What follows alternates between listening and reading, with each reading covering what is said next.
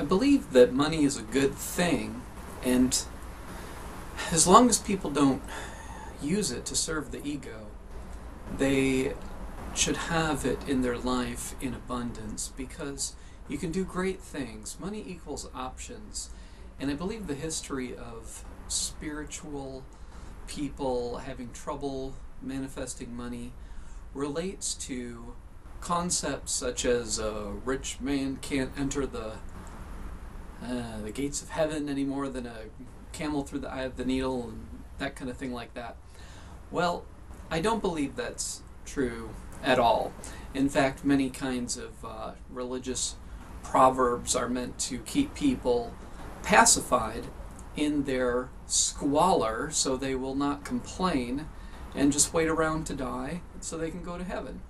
And I don't believe in a traditional heaven or hell concept, anyways, but I don't think having more money would prevent one from going. I think at best it can work as a metaphor in terms of hoarding and not sharing, but I do believe that saving is different than hoarding because if you save enough money to get yourself out of root chakra and eventually uh, work towards the goal of being able to live off the interest and so forth, you can do a lot of great things. Uh, a few months ago, I was guided to begin giving a certain percentage of my income to charity, to the World Food World Food Program in particular, and in the last three months, I've uh, donated over three thousand dollars to them, and will continue to probably donate a thousand a month or so. And this feels good to be able to help in that way. Um, a lot of it has gone, I think maybe all of the money I've donated so far has gone to Haiti in the relief efforts there. And I believe that even though there was a part of me that thought, well, you know, I can reach my own uh, goals faster if I don't, I just felt like it was hard to ignore the suffering of others. Because if it was happening in my neighborhood, I couldn't ignore it. And we are all interconnected. And I think a lot of spiritual people have the desire to help others, but they don't have the means to do so because they haven't figured out how to help themselves.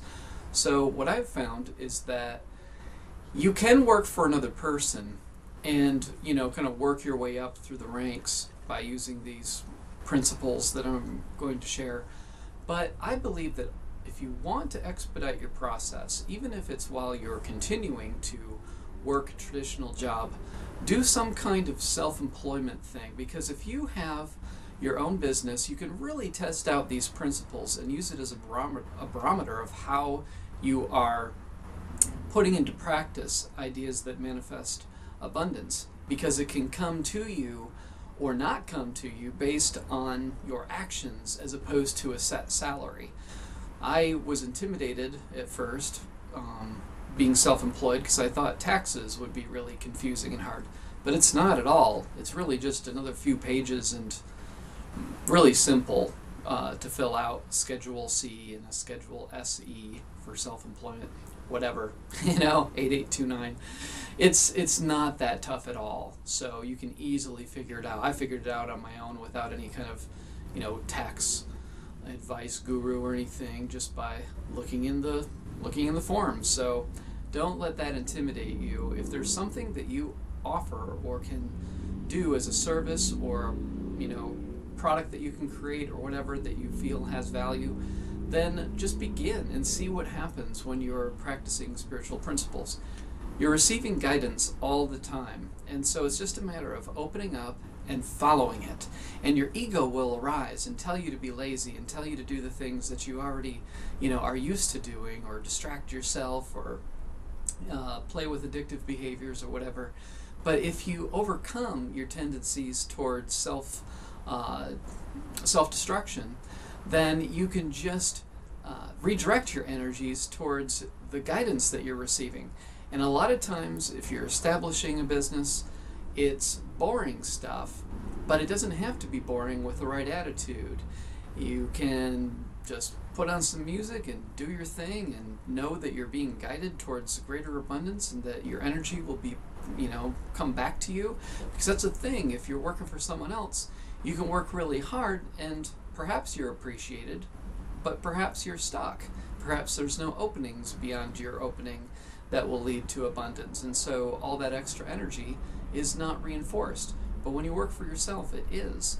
So by focusing on little details and following through with the guidance that you receive, you know, that's the biggest thing for me. What delayed my success was not a lack of guidance, but a lack of implementing the guidance that I was receiving because I was lazy. I didn't want to put these ideas into form because I thought it would be dull and I didn't need it.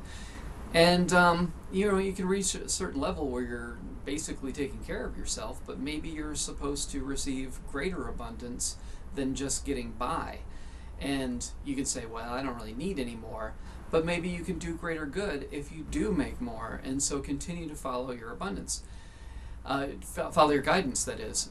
And when you start to achieve abundance, one of the principles that can uh, keep it coming, I believe, is to not squander it on things that you don't need or do things for your ego. Like, I could have a very nice house and a very nice car, but I live modestly because by doing the spiritual work that I do, I realize that these other things are not going to be that rewarding for that long. And so throwing away money is communication to the universe that you don't really value it. So saving and uh, uh, living not in, you know, a really uh, self defeating kind of way, you know, but but finding balance with money where you have the things that you're guided to get. It's it's no longer about what is advertised to you, what is, you know, going to make you more of something or whatever. It's just what are you guided to buy? Buy that. Don't buy anything that doesn't come from your guidance, and then you, you'll keep your money around.